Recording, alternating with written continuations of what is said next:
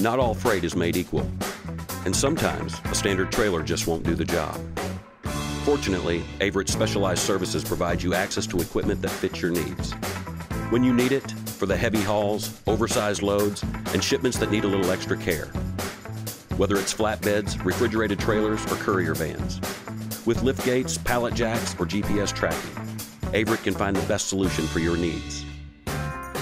At the end of the day, there's no reason to worry, because when you call on us to move even the toughest of logistical challenges, we've got you covered.